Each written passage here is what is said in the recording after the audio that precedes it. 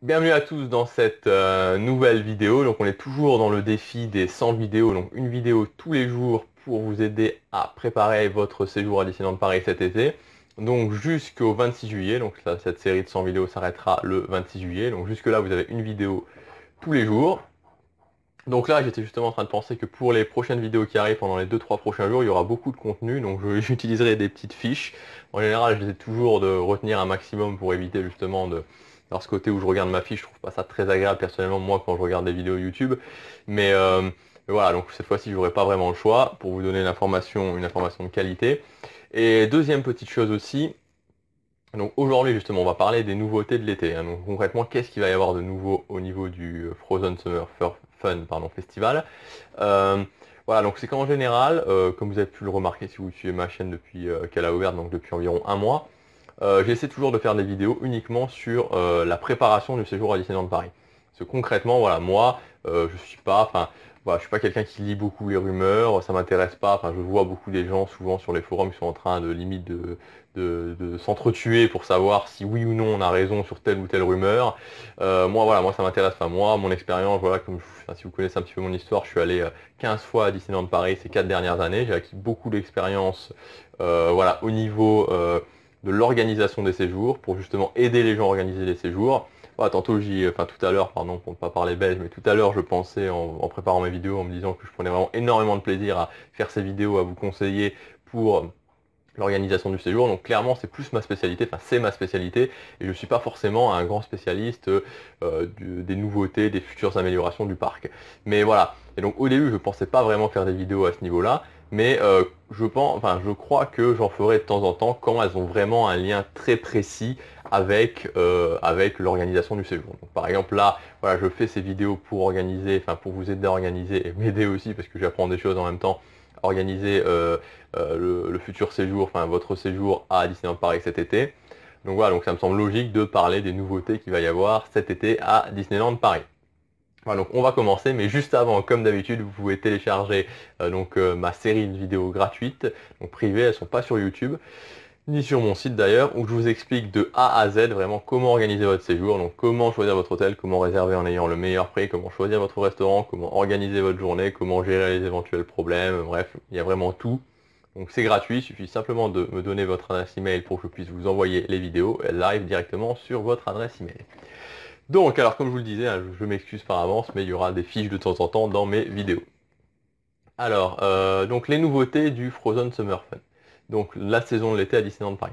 ce qui est vraiment bien cette année, c'est que les dernières années, très honnêtement, l'été c'était un petit peu mort. Alors c'est vrai que, je parle en termes de spectacle, euh, c'est vrai que voilà, euh, notamment depuis 2012 et l'arrêt de la parade Fantillusion, euh, donc ce que je veux dire, c'est vrai que bon l'année dernière il y a eu Ratatouille, donc l'ouverture de l'attraction, donc c'est quand même quelque chose qui était assez énorme, mais voilà, vraiment cet été, Disneyland a décidé de reprendre vraiment l'été en main, il va y avoir vraiment pas mal de nouveautés. Donc la plupart sont consacrées à la Reine des Neiges, évidemment, mais il va y avoir quelques autres nouveautés.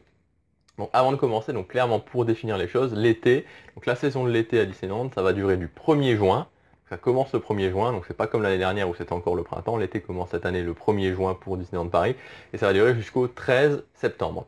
Donc voilà, donc du 1er juin au 13 septembre.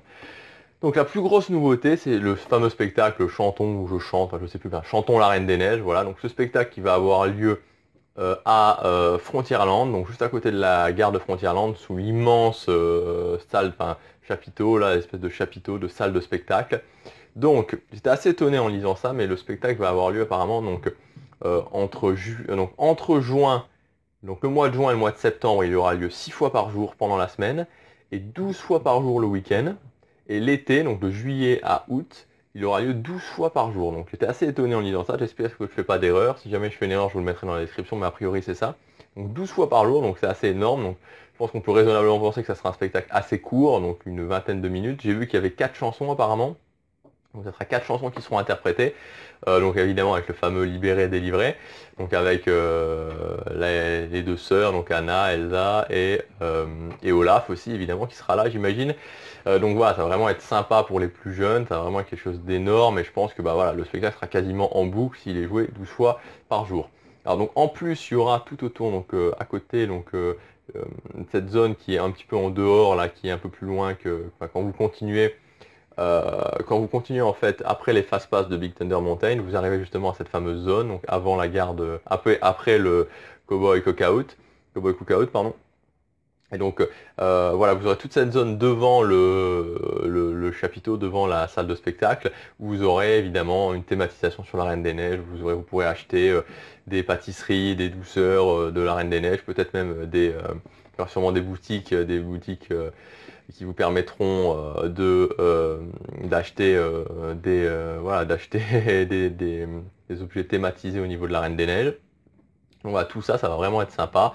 Et ça fait partie de la plus grosse nouveauté de cet été. Donc le retour vraiment d'un spectacle à Disneyland Paris pendant l'été. Donc ensuite, euh, voilà, donc il y aura évidemment la parade, hein, donc la parade, le défilé de chars tous les jours, donc ce sera une fois par jour. Et euh, donc à cette parade sera intégré euh, des éléments de la Reine des Neiges, donc très certainement un char, un char de la Reine des Neiges, peut-être plus, mais au moins un char de la Reine des Neiges. Ensuite, il y aura, donc ça avait déjà été le cas pendant cet été, mais il y aura le fameux hommage à la Reine des Neiges qui aura lieu trois fois par jour. Donc, donc cet hommage, c'est simplement euh, les deux, donc Anna et Elsa qui vont défiler d'une partie à l'autre du parc. Dans un char, voilà, en saluant les passants, donc on les voit défiler, c'est vraiment sympa pour les enfants, donc ça, ça aura lieu trois fois par jour. Et oui, et aussi pendant Disney Dreams, donc comme je vous le disais dans une vidéo il y a 2-3 jours, euh, pendant Disney Dreams, il va y avoir une séquence qui va être ajoutée, donc la séquence sur la Reine des Neiges avec Libéré, Délivré, ou ce sera peut-être, enfin ça sera sûrement, si c'est comme dans Disney Dreams Fête Noël en anglais, donc let, it go. Euh, voilà, donc euh, qu'est-ce qui va être enlevé dans Disney Dreams? C'est une bonne question. Moi je pense, enfin je actuellement je sais pas, très honnêtement, j'ai rien lu à ce sujet. Je pense que très honnêtement ça va être Rebelle qui va être enlevé. Je pense que ça serait la, la chose la plus logique. Donc c'est la séquence avec Rebelle qui devrait être enlevé. Donc voilà, donc ça c'était pour les euh, nouveautés euh, concernant euh, la Reine des Neiges à proprement parler. Ensuite, ce qu'il faut savoir, c'est qu'il y a eu pas mal de rénovations. Ça va continuer évidemment après l'été, mais il y a pas mal de rénovations qui ont, qui ont été en cours. Donc il y a eu notamment le manoir fantôme qui a été rénové. Alors ça a été vraiment ça n'a pas été une amélioration, mais c'était une rénovation, je veux dire, euh, au sens propre du terme, donc les peintures, euh, certaines choses pour que euh, l'attraction retrouve une seconde jeunesse. Alors aussi le restaurant, le Silver Spur Steakhouse, alors franchement j'ai vu les photos, ils ont vraiment fait quelque chose de magnifique. C'est vraiment très très beau, ils ont réchauffé les couleurs et le Silver Spur Steakhouse, donc la façade du restaurant a été entièrement rénovée. C'est vraiment vraiment vraiment super super beau ce qu'ils ont fait à ce niveau-là. Vraiment franchement félicitations à Disneyland Paris. Et oui, et donc, alors Space Mountain aussi, alors Space Mountain le cas est un petit peu particulier, et vu que là je vois déjà qu'on arrive un petit peu de vie à à peu près 8 minutes dans la vidéo, je ne vais pas euh, rentrer dans le détail sur Space Mountain, je ferai une vidéo demain sur Space Mountain pour vraiment vous sachiez où en est la rénovation et ce qui va se passer concrètement pendant l'été et après l'été pour Space Mountain. Et donc enfin le, dernier, la dernière chose, la dernière nouveauté très importante de l'été, ça va être la Jedi Academy. Alors la Jedi Academy c'est quoi? Ça va être un, donc, euh, un spectacle qui va avoir lieu sur la scène du Café Hyperion. Donc vous avez pu remarquer que ça aussi, si vous êtes allé au parc pendant la saison du printemps ou pendant le mois de février, euh, ça a été mis en rénovation depuis janvier. Euh, donc pour justement alors une rénovation au niveau du fast-food en lui-même, mais aussi une rénovation au niveau de la scène pour accueillir cette fameuse Jedi Academy.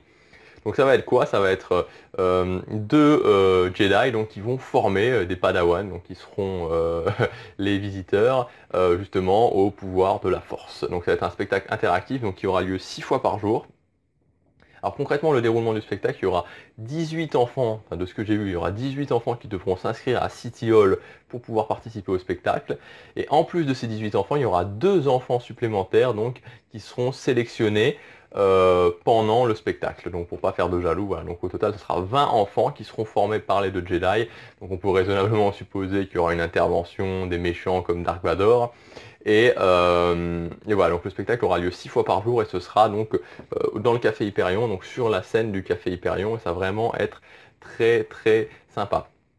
Donc maintenant au niveau de la Jedi Academy, j'ai cherché parce que euh, quand est-ce que commençait la Jedi Academy et j'ai pas beaucoup, enfin j'ai pas trouvé grand chose et j'ai trouvé une date, une personne, donc c'est un anglais en plus qui parlait de Disneyland Paris et qui disait que euh, la Jedi Academy commencerait le 11 juillet. Donc apparemment la Jedi Academy à Disneyland Paris va commencer le 11 juillet. Donc c'est sans euh, vraiment garantie, mais a priori c'est ça. Pour le moment il n'y a pas eu encore d'annonce officielle en tout cas il me semble qui ont été faites, mais a priori la Jedi Academy commencerait le 11 juillet. Donc voilà pour cette vidéo, je vous résume un petit peu toutes les nouveautés. Donc comme vous voyez, c'est assez riche, il y a un programme assez dense, donc entre les spectacles, Jedi Academy, euh, Chantons la Reine des Neiges, toute la thématisation qui va être faite autour de la Reine des Neiges, euh, toutes les rénovations qu'il y a eu, c'est vraiment un été qui va vraiment être très très sympa et c'est vraiment la bonne période pour profiter de Disneyland Paris.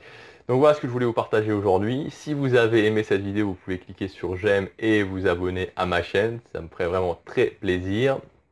Et comme d'habitude, vous pouvez télécharger donc la formation, enfin la série de 5 vidéos où je vous explique vraiment de A à Z comment réserver votre séjour à Disneyland Paris comment profiter au maximum de votre séjour à Disneyland Paris. C'est entièrement gratuit, il suffit de cliquer sur le lien qui apparaît au-dessus et ça arrive directement dans votre, dans votre boîte mail, c'est comme ça, c'est gratuit. Voilà, donc on se retrouve demain pour la prochaine vidéo où on parlera justement, donc je vous l'ai dit dans la vidéo, de Space Mountain. À demain, salut